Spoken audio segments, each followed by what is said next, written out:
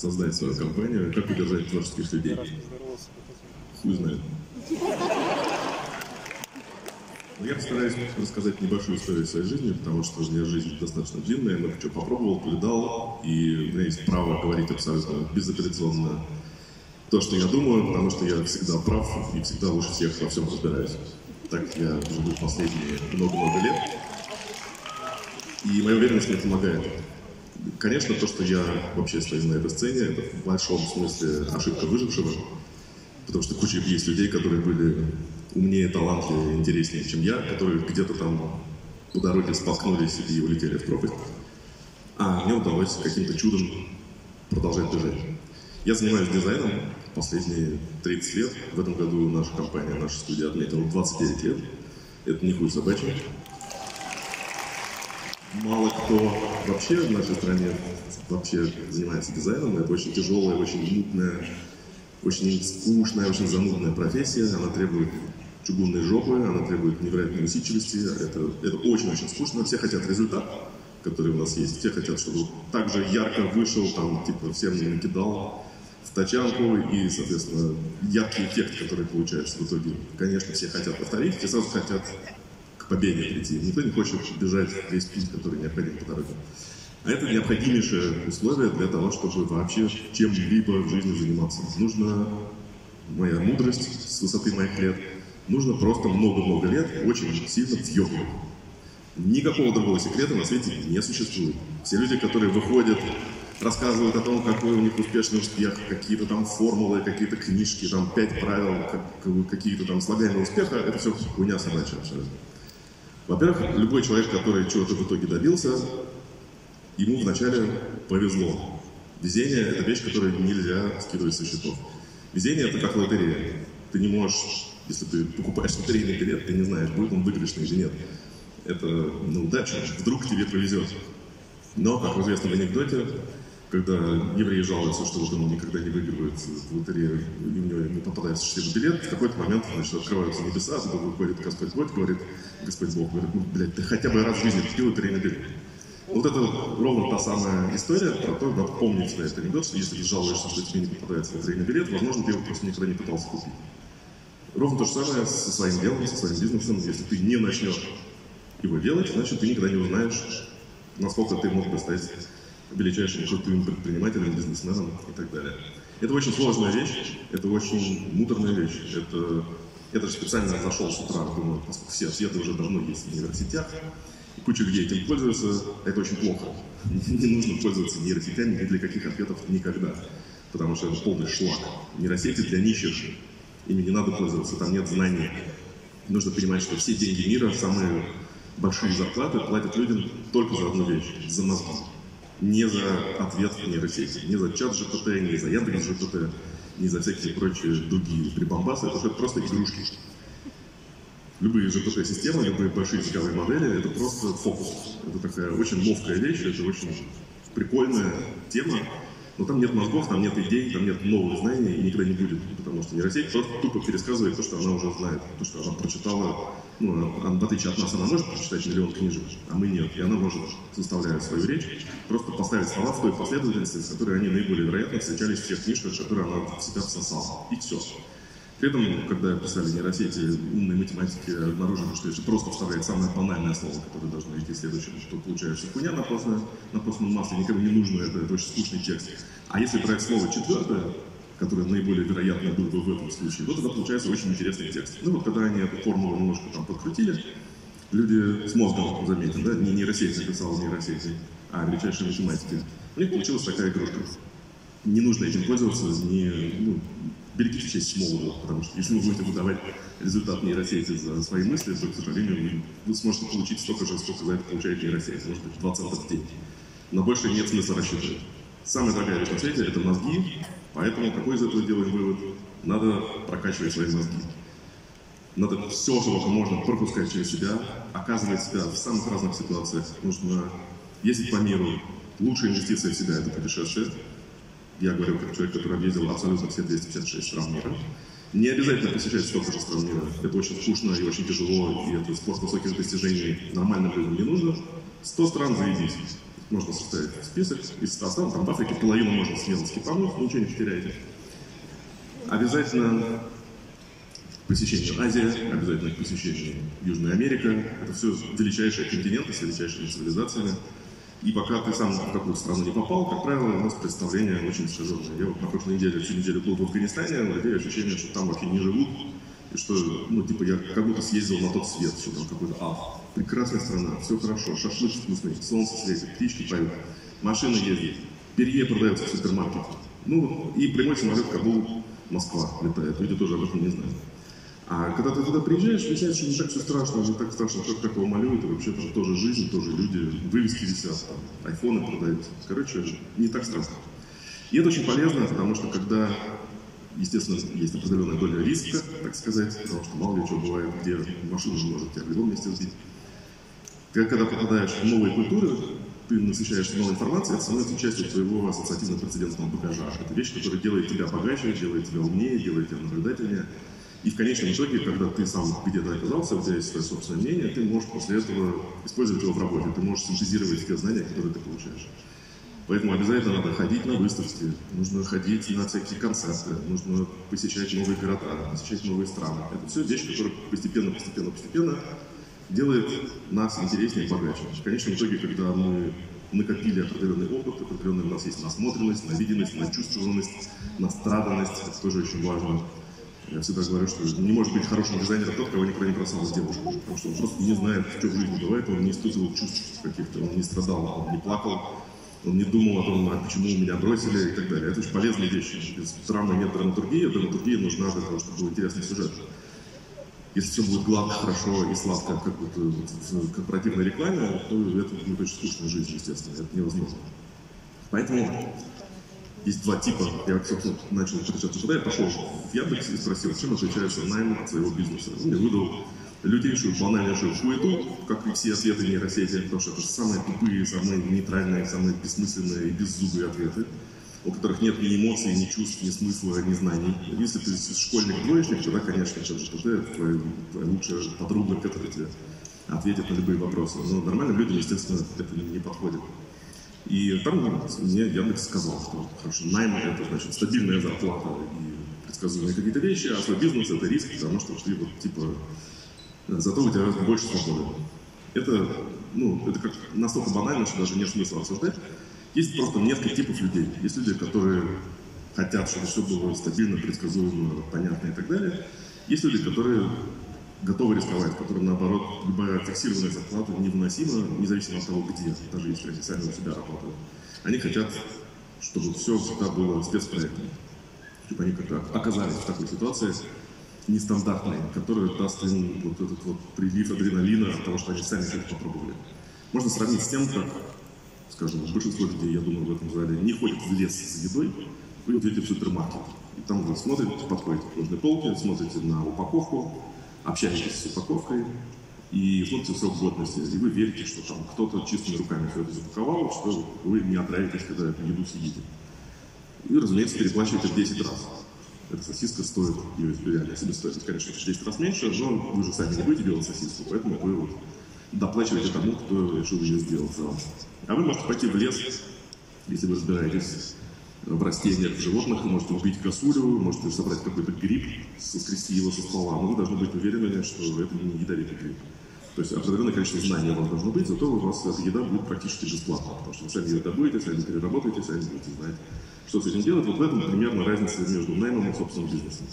Можно подмешивать в разных пропорциях, но самое главное, что, как бы простое правило, не всегда очевидное, но полезное. Никогда не нужно рисковать на все рубли какое бы дело в жизни мы ни затеяли, нужно делать по чуть-чуть, небольшими ставочками. Просто на тот случай, что, во-первых, вероятность обосраться всегда огромная, считайте, что вы всегда, вот, если вы в какое-то дело вкладываете деньги, считайте, что вы эти деньги потеряли. Вот если вы не готовы так считать, не начинайте никуда вкладывать. Даже если это депозит в банке. Потому что вот сегодня есть, а завтра нет. Поэтому, если вы его туда вкладываете, имейте в виду, что просто это вы так играете, и вы готовы уже заранее морально попрощались, а потом вдруг в качестве бонуса может оказаться, что на самом деле там свой капитал в два раза умножите. Но, опять же, никогда не нужно ставить все, потому что вероятность того, что случится просер, не нулевая, а вероятность того, что потом как-то отыграешься на нуля, она еще не. Поэтому нужно играть по чуть-чуть, не класть все яйца в одну. То же самое с бизнесом. Считайте, что открыть свою собственную компанию, свой собственный бизнес, во-первых, это абсолютно не страшно. У нас прекрасная страна, которая дает нереальные возможности для людей, которые занимаются предпринимательством. У нас другая проблема. У нас люди не склонны к предпринимательству. У нас просто люди инертные в этом смысле. Они не готовы там, экспериментировать, пробовать, что-то делать. Услышали где-то какую-то штуку, чтобы сразу попробовать это применить в виде какого-то предприятия. Очень мало таких людей. Не хватает. Потому что государство там бегает за людьми, готово давать какие-то там кредиты малому бизнесу, там, помогает пыры-пыры, там, давать всякие там бизнес-формулы, все на свете, учить, воспитывать и так далее. Люди не хотят слышать, к сожалению. Возможностей огромное количество. Реально в России гораздо больше возможностей, чем в любой другой стране для людей, которые хотят открыть свое дело. Просто бери и начинай. Можно, можно просто открываешь приложку банка, создаешь себе там ИП или самозанятость, и все, и ты предприниматель. Ты уже можешь принимать деньги на свой счет с микроскопическим процентом. 6% налогов. Просто смешно. То есть любой человек может вот выйти уже из этого зала бизнесменом просто без всяких проблем. Основание компании можно сравнить с тем, когда мы приходим в лес. Я очень люблю метафору леса, потому что она отражает устройство мира. В лесу тоже есть на разных этажах разные формы жизни. Снизу какие-то бактерии, мхи, там какие-то черви пошатся, которые значит, едят землю. Чуть повыше какие-то зверечки бегают, потом какие-то белочки, потом какие-то значит, стволы деревьев. Те деревья, которые понаглее, поборзее, они высокие, потому что им нужно солнце получать. Те деревья, которые готовы терпилами быть, они внизу растут как кусты. Ну и при этом каждый, нельзя сказать, что кто-то, что там какой-нибудь трава, она не такая крутая, как секвоя. Это просто еще одна форма жизни. У них разная специализация, разная судьба в этой жизни. Нужно к этому спокойно относиться. Потому что где-то тоже в чем-то мы секвоя, а в чем-то мы травка. И вот в этом лесу мы решили поставить палатку. Вот это можно сравнить с моментом, когда ты основываешь, основываешь, обосновываешь свой бизнес. Когда ты, собственно, начинаешь что-то делать, ты ставишь палатку. Ты вот находишь какую-то площадку, кладешь туда какие-то еловые веточки, значит, ставишь палатку, пробиваешь колышки и начинаешь там жить. Может быть, с видом на воду, может быть, еще что-то, потом идет дождь. Потом дальше начинаются всякие разные риски с этим связанные. Одно дело, когда ты живешь у себя просто в квартире, где за тебя все продумали, тебе 24 на 7 обеспечивают тепло, воду, электричество, там, безопасность и так далее, и, и крыша не течет, потому что кто-то ее чинит. А в палатке ты сам отвечаешь за все. Ты взаимодействуешь с силой природы. Пошел дождь, а ты не окопался, соответственно, вся вода тебе под жопу затечет. Значит, ты начинаешь постепенно умнеть. Потом, если там все пошло хорошо, может быть, ты ставишь уже там две палатки, там четыре палатки. У тебя может быть палаточный городок. Потом ты можешь как-то еще, еще вырасти, у тебя уже будут палатки там, более сложные, что ты начнешь делать какие-то возводимые конструкции.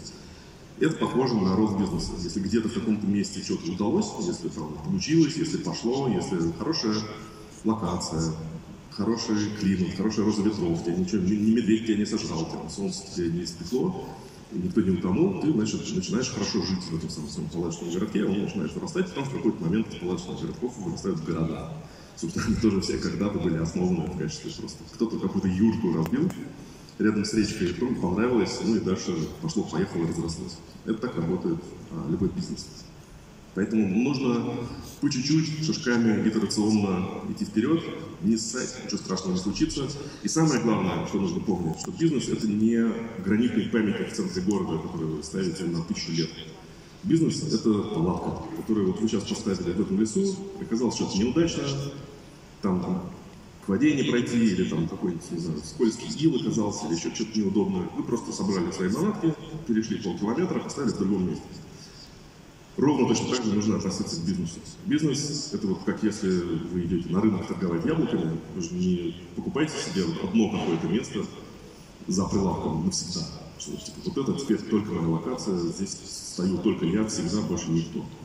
На, люди на рынке, они все время перемешиваются. То там, то там, то в первом ряду, то в третьем ряду. Они все время пробуют, где лучше, где дороже, какие-то у них есть свои локации, они пробуют разные гипотезы, кто-то у входа торгует, кто-то там у метро встает, еще не дойдя до рынка. Это тоже все как раз поиски того, где может что случиться. Здесь очень важно обращать внимание не на то, как принято, как надо делать, а таких, таких советов просто переизбыток, где рассказывают, как надо жить. Все, кто рассказывает, как надо жить, могут пойти в жопу, потому что самое главное, единственный рассказ о том, как надо жить, это то, как у тебя на самом деле в итоге получается. Когда ты видишь, что у тебя есть, Когда ты смотришь на свой банковский счет, когда ты смотришь на количество входящих звонков, когда ты смотришь на количество подписанных контрактов или количество людей, которые готовы с тобой куда-то идти, это есть для тебя этот вопрос, делаешь ли ты то, что нужно или нет. Потому что советы тебе дадут всегда, как известно, страна советов. И да, нельзя на Красной площади изнасиловать женщину, потому что заебут советы. Это не надо обращать внимание на это, на то, кто что думает. Нужно обращать внимание на то, что у тебя получается. Это самое ценное, самое важное, самое главное. И ты довольно часто будешь находиться в противофазе к остальным людям, потому что они будут тебе пытаться рассказать какую-то свою бизнес-шнягу, а у тебя есть свое собственное знание, что на самом деле работает. И легкость этого собирания палатки и пересобирания ее в новом месте, это то, что нужно всегда помнить, всегда иметь в виду. Потому что те люди, которые сказали, нет, я только в этом месте, все, это священное место, здесь наша палатка всегда будет стоять, и там мои внуки будут тоже в этой палатке, это, как правило, так считают только долбоебы. Потому что нужно быть мобильным, нужно уметь возможность, иметь возможность перебазироваться, и делать это легко и просто, потому что выгоды в самых разных местах, да, очень непредсказуемы. Нужно всегда просто быть открытым возможностям, которые на тебя плывут. Очень часто бывает так, что люди вообще занимаются не тем делом, которым надо. Опять же, потому что они прочитали в каком-то журнале, и у них какая-то появилась ролевая модель, они хотят повторить чей-то опыт. Это самое глупое, что можно сделать на свете. Ничей опыт нас не должен ебать вообще. Мы можем иногда что-то там подсмотреть, подглядеть, но опять же глобально волнует и работает только то, что ты сам знаешь. То, что у тебя получается, если у тебя получается хорошо, все, после этого можно срать на все остальные мнения, потому что какая разница. Пусть, если у них есть мнение, пусть они сами у себя выращивают свою компанию, а у тебя будет своя. Поэтому ставишь палку там, где тебе удобно, переставляешь столько раз, как тебе нужно, пока не будет так, как тебе будет удобно, хорошо. Ну а дальше, если нашел удачное направление, то там можешь ставить и 100 палаток. И, соответственно, из этого получается уже свое какое-то дело, свое какое-то направление. Я в жизни огромное количество самых разных направлений попробовал. У меня есть такая метафора визуальная, называется Y. Y – это такая палочка, и она сверху разветвляется на две другие дорожки. Вот Y, если мы идем по дорожке, это его ствол этого Y, дальше у нас есть вариант, направо или налево. Например, мы пошли налево, и там вот басали. Значит, что, какой из этого стоит сделать вывод? Наверное, не стоит ходить на это лево, да? стоит ходить направо. Ну и, соответственно, когда у тебя, если поставить много-много-много этих игреков подряд друг на друга, получится такой красивый паттерн, который будет состоять из лабиринта, из тропинок, которые будут вести тебя твоим путем. Там будет большое количество поворотов в ту сторону, в которой не работает, а иногда направо обосрешься. Значит, надо ходить налево. Это не страшно. Ты сам понимаешь, что для тебя сработало, что не работало. И из этих вот бесконечного количества этих игреков, где каждый раз неизвестно, какое из направлений более удачное, ты выстраиваешь свой собственный уникальный паттерн, который будет работать только для тебя, больше ни для кого. Об этом нужно помнить, не нужно этого бояться, не нужно стесняться. Люди устроены очень по-разному.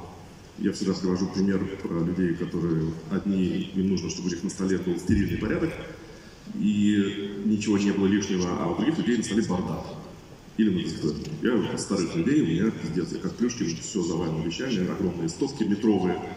И Бардак это только для тех людей, которые не понимают, в чем классность этой системы организации. Э, система это самая лучшая на свете, опять же, для меня.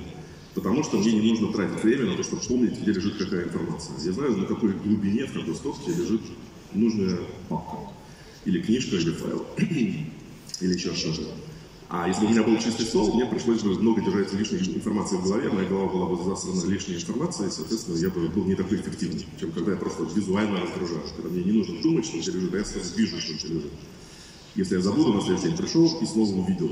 И это так работает. И самый прикол, что те люди, у которых стерильный стол, они любят прийти к людям типа меня и сказать, что у тебя на столе бардак. Но никогда не бывает наоборот. Я никогда не прихожу к людям, у которых чистый стол, и не говорю, а что у тебя не насрано? Хотя, казалось, а в чем разница? Просто две системы устройства мира, две системы взгляда на жизнь.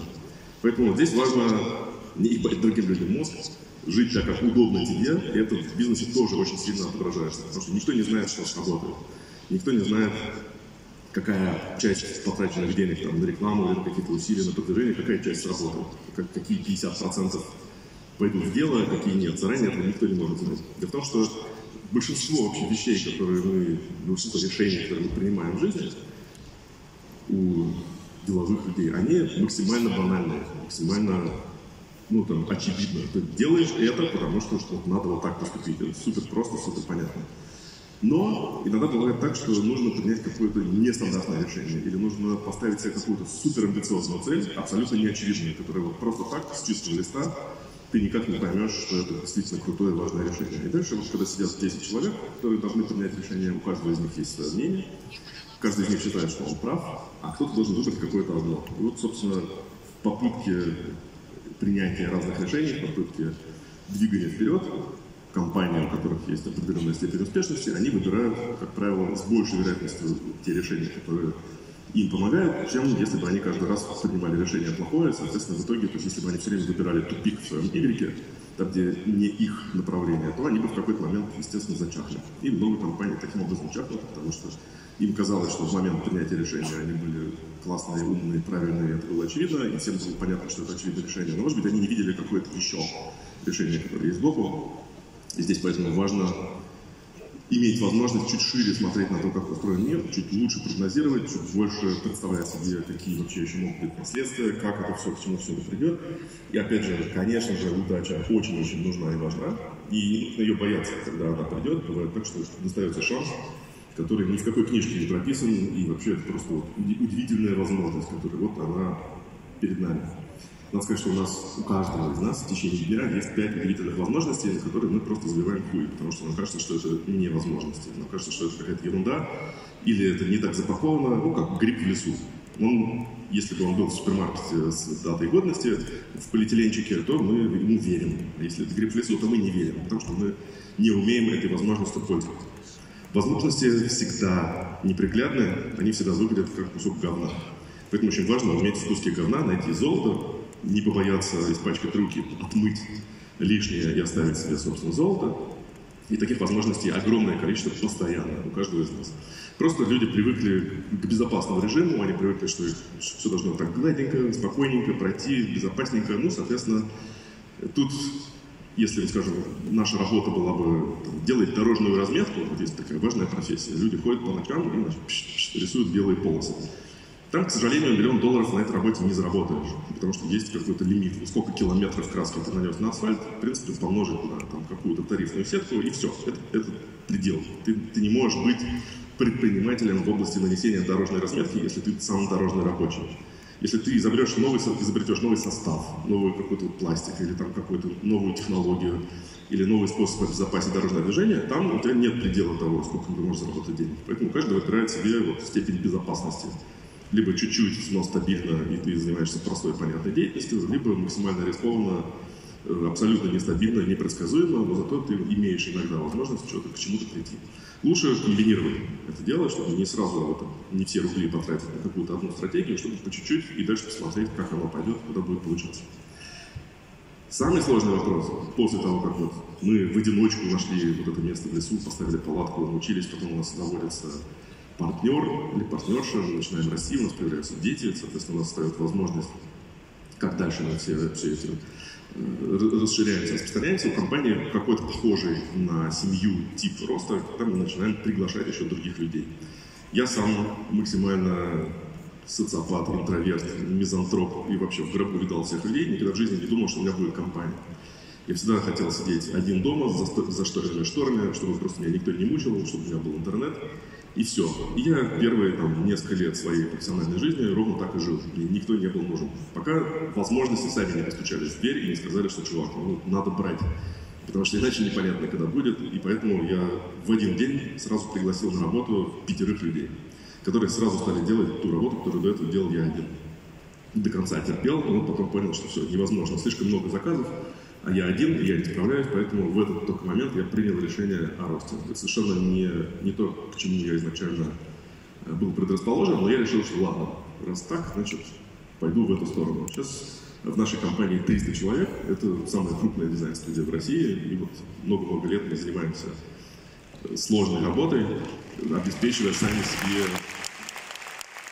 свою загрузку. Это, правда очень сложно заниматься в России дизайнером, потому что ну, у нас не та страна, у нас очень мало людей, э, очень много возможностей, и нужно кормить самого себя. Нужно все время бегать в лес, находить съедобные грибы, чтобы значит, дальше из них делать какие-то полезные продукты.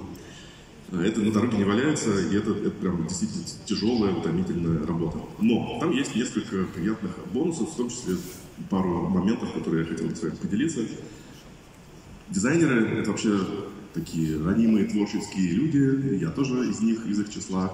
Я, естественно, очень нежный, очень такой значит, чувственный, очень у меня разные мои реакции на то, что происходит вокруг вообще максимально отзывчивый. Меня все бесит всегда, я все, от всего раздражаюсь. Я из этого я научился свой бесеж превращать э, в бизнес-инструмент. Потому что если меня что-то бесит, я, помимо того, что просто бешусь, я сразу задаю себе вопрос, как сделать так, чтобы меня это не бесило? И у меня тут же появляется ответ, типа, ага, можно сделать вот это так, это сяк, это переделать, здесь тебя не будет бесить, и получается в результате какое-то любопытное решение, инженерное, дизайнерское, творческое, которое становится основой хорошего дизайна. То есть моя задача сделать какой-то процесс таким образом, чтобы результат меня не бесил, ну и, соответственно, это получается потом можно кому-то продать, потому что оказывается, что это подходит не только мне, что есть другие люди, которым тоже это подходит.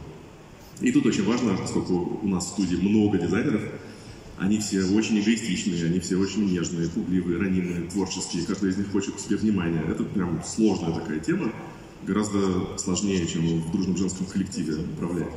Еще сложнее. Вот возьмите женский коллектив, помножьте на 20, это будет дизайнерский коллектив. И здесь очень важно заниматься такой вещью, которая называется менеджмент тщеславия. Потому что все эти люди, они в душе тщеславные, они хотят много чего, и нужно очень правильно их заправить, очень правильно их спозиционировать, сориентировать. И самое главное, что нужно помнить, все дизайнеры, все творческие люди, все люди, а творческие, это не значит, что он рисует картинки. Иногда и бухгалтерии бывают творческие люди, к ним, соответственно, тоже такой подход сработает. Там очень важно, очень важно сделать так, чтобы те проекты, в которых люди принимают участие, чтобы эти проекты были нужными, успешными, интересными, чтобы людям хотелось иметь к ним отношение. После этого можно делать вообще все, что угодно. На людей можно орать, их можно унижать, их можно сколько угодно сверхурочно мучить. Ну, я так не делаю, но я просто знаю случаи, когда это бывает. Люди готовы это все потерпеть, потому что если в итоге тот проект, в котором они принимали участие, стал успешным, если мы пацанов к успеху привели, Люди это ни с чем не спутают. Это самый большой наркотик на свете, это самая желанная вещь. Люди готовы, даже дело не в деньгах очень часто, что есть куча компаний, там все крупные банки платят такие зарплаты, что ни одна дизайн-студия, ни одна простая компания не может с ними конкурировать. Ну просто совсем это физически невозможно. Но люди туда не идут. Почему? Потому что в крупном банке зарплата конская, вот там тебе едут мозги. И это неприятно. Причем едут в плохом смысле мозги. Там тебя уныло корпоративно унижают ты пришел в работу, а тебе говорят, мы здесь все одна семья. Как только слышите такие слова, сразу надо бежать. Никакой семьи, блядь, на работе не бывает. Семья дома с женой, с детьми, а на работе работа должна быть. И это четкая профессиональная задача, никогда не отвлекаться, не позволять себе вот так вот мозг расставить. И те люди, которые будут сидеть на работе, которые будут иметь отношение к успешному проекту, этот проект даст им удовольствие, они, если брать дизайнеров, они вот идут по городу, видят, висит произведения, в котором они приняли участие, это командная работа. Но они знают, смотри, я вот участвовал в этом проекте, человеку приятно, и он получает лайки, он получает внимание, он получает э, любовь, заботу окружающих, потому что людям нравится, что человек принял участие в интересном проекте. Он вот это вот сделал, вот он сделал, вот здесь он поучаствовал. Это самое-самое лучшее, что можно обеспечить. Поэтому очень важно, когда у нас есть творческие люди, для того, чтобы мы их удержали, им нужно, их нельзя удержать веревкой, их нельзя удержать зарплатой, это просто тупо не работает. Их можно удержать только интересными проектами. Причем для того, чтобы проект был интересный, очень важно, чтобы тот человек, который руководит этим проектом, хотя бы чуть-чуть сек фишку. Этот человек должен разбираться в этом деле, потому что иначе его просто тупо обманут. Если он сам не знает, к чему все это идет, если он не в состоянии скорректировать движение, если он не может сказать людям, куда попробовать, что поделать, чтобы человек сам увидел, что вот было А, ему сказали сделать Б, он сделал, и он смотрит, и точно лучше. И вроде как я поумнел, и вроде как действительно это работает, но человек начинает, он вообще перестает замечать, что кто-то пытается его как-то там развивать или напрягать, это не всегда комфортно, многим людям это тяжело. Но если в конечном итоге проект становится успешным, люди готовы любые трудности, любые неприятности преодолеть, только потому что люди хотят иметь отношение к хорошему, интересному проекту. И за наша задача придумать так, чтобы абсолютно из любого мусора, абсолютно из любых вводных данных а, не бывает хороших заказчиков. А, они все в каком-то смысле тяжелые люди, у них тяжелые проекты, у них очень сжатые сроки, у них нет денег, они не дают материалов, у них огромное количество самых разных неудобств. Наша задача не обращать на это внимания, потому что не бывает такого, что кому-то достаются хорошие заказчики с большим бюджетом, просто нет так, вообще в принципе условий ни у кого Всегда надо проебаться. Это основа основ. И задача не только в том, что мы, собственно, будем вот, вовлечены в этот самый процесс. Задача, как сделать это интересно, как всегда выйти с честью из любой ситуации, чтобы вот нас нагрузило, у нас сложно, у нас непонятно, или самое классное слово невозможно, это вообще просто любимейшее слово, с него прям надо. Если кто-то его произносит, очень хорошо, это прямо сразу дайте два. Хочу два невозможных, чего-нибудь сделать. И из этого, соответственно, получается самый лучший потом результат. Потому что если ты делаешь то, как тебе удобно, то, как ты сам бы сделал, то, как тебе нравится, то, как с тобой люди готовы идти в какой-то в бой, в разведку для того, чтобы прийти к успешному результату, то, соответственно, это и создает самые крепкие команды, самые долгоиграющие. Со мной большое количество моих коллег, которые пришли, там, у меня есть коллеги, которые работают со мной 28 лет, 27 лет. Тут не всем в зале столько лет, сколько они со мной работают. И это ну, что-то говорит о том, что мы какие-то поняли принципы, хотя каждые там, 5 лет меняется примерно все, там, новые дизайны, э, новые технологии, новые вообще все на свете. Там, то, что мы делали 30 лет назад, сегодня уже вообще никому не нужно, понятно, даже шут-шут. Но при этом мы остаемся, потому что те принципы, которые лежат в основе, работать с людьми, делать проекты интересными в первую очередь для себя. И когда проект становится интересный для команды, это самый лучший проект, и команда получается самая крепкая, самая долгосрочная, самая сплоченная. Никакой заказчик никогда не сделает вашу команду сплоченнее, чем вы сами. У меня очень простой принцип.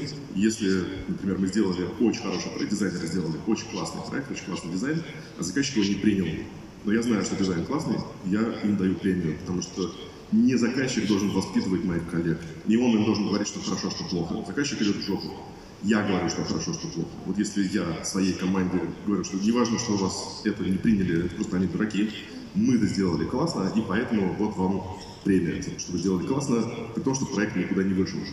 Для того, чтобы не сбить вот этот вот калибратор, чтобы если мы считаем, что у нас внутри вот мы делаем так, и в следующий раз мы тоже сделаем так, потому что для нас это важно, то, соответственно, это то, что нас волнует. Нас не волнует внешний мир, ну, пока не настолько, чтобы внешний мир нас воспитывал. Мы сами себя воспитываем внутри, и дальше с нашими принципами выходим во внешний мир, предлагая наши услуги, и довольно часто получается так, что то, что мы делаем, оно оказывается там, эффективным, красивым, незаметным и так далее. И люди приходят для того, чтобы попытаться погрузиться в нашу среду, чтобы попытаться помучиться вместе с нами, для того, чтобы прийти вот к такому успеху. Желаю всем пробовать в жизни то, что вам лично подходит. Не обращайте внимания на всяких мотивационных бизнес-спикеров, пусть они идут в жопу. Делайте то, что вам нравится. Не ставьте все рубли на одно что-нибудь. Просто распределяйте разные усилия. И тогда у вас будет счастье, успех, радость и все остальное в жизни. Целую, пока.